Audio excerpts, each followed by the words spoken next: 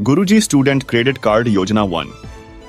यह योजना 14 मार्च 2024 को झारखंड सरकार द्वारा शुरू की गई थी। Two.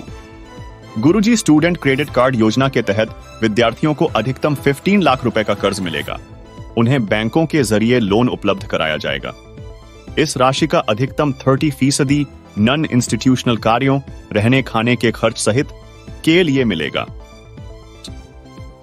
थ्री विद्यार्थियों को फोर फ़ीसदी सिंपल रेट ओवन ऑफ़ इंटरेस्ट चुकाना होगा।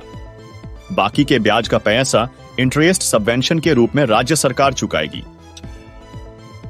फॉर लोन लेने के लिए छात्रों को किसी प्रकार के कोलेटरल सिक्योरिटी देने की ज़रूरत नहीं पड़ेगी। लोन की राशि को विद्यार्थी 15 साल में चुका सकेंगे।